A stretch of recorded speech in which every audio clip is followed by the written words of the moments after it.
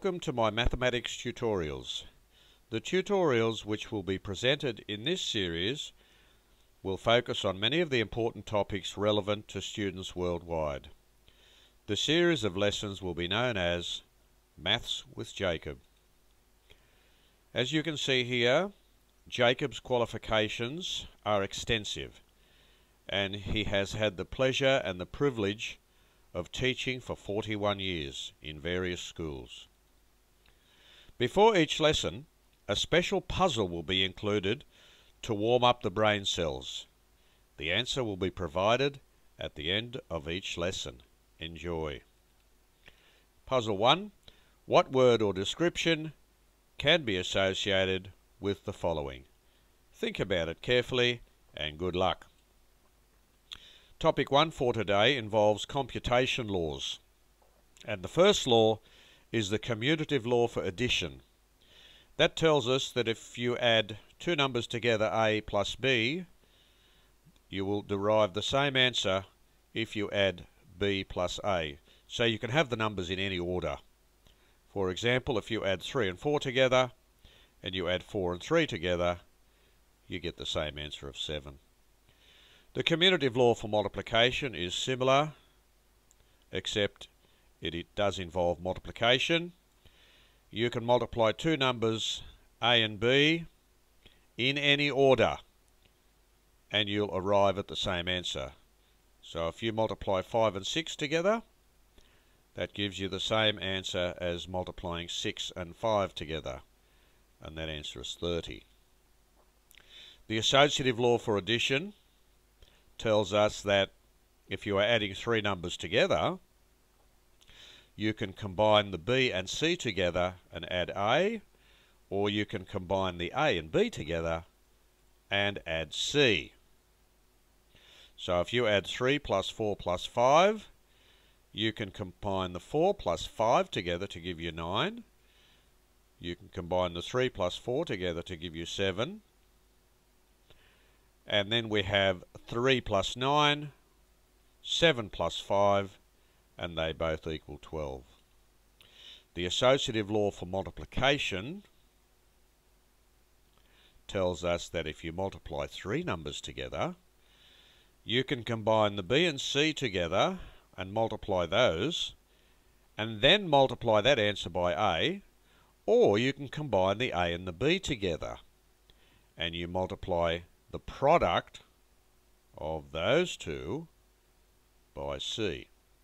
So if you're multiplying 2 times 3 times 4, that will be the same as multiplying 3 times 4, that gives you 12, and then you multiply that answer by 2, or you can multiply 2 times 3 to give you 6, and then you multiply that answer by 4.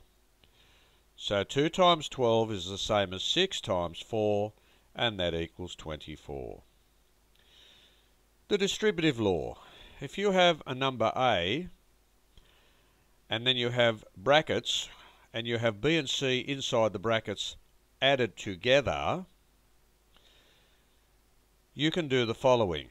You can multiply the A and the B together to gives you AB, that's the product of A and B, and then you multiply the A and the C together to give you AC, and there's the addition sign. So that addition sign is this one here. So if you're multiplying 5 outside of 3 plus 4, 5 times 3, which is this part, 5 times 4, which is this part, there's the addition sign, 5 3s are 15, 5 4s are 20, 15 plus 20 gives you 35. Order of operations without brackets.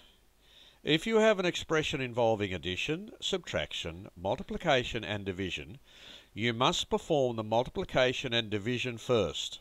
After that, perform the addition and subtraction from left to right.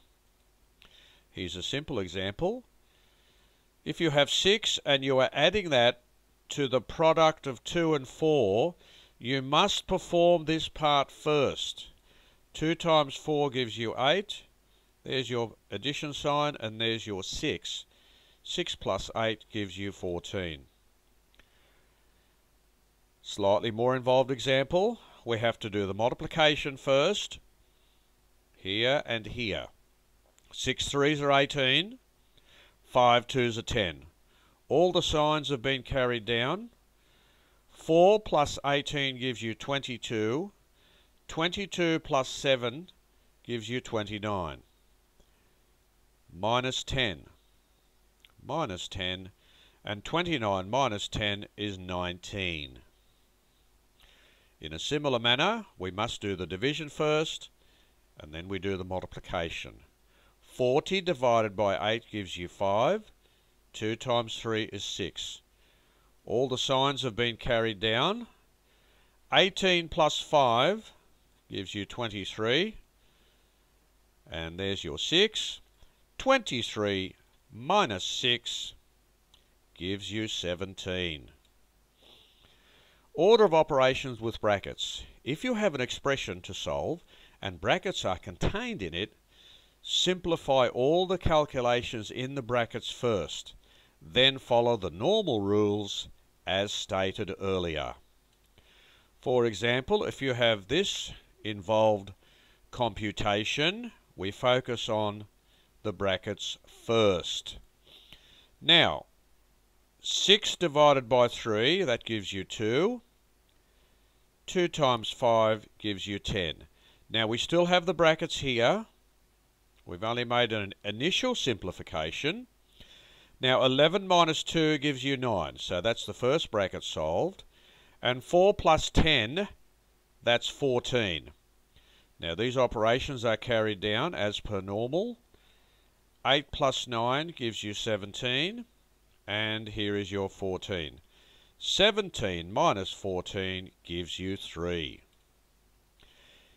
In the next lesson, the next lesson will explain the concept of directed numbers, a very, very important concept in mathematics. We will also focus on how to add, subtract, multiply, and divide directed numbers. The answer to puzzle one is reading between the lines. How did you go? If you enjoyed this video, please subscribe and you will receive a notification as to when the next video is available. Hope to see you next lesson and bye for now.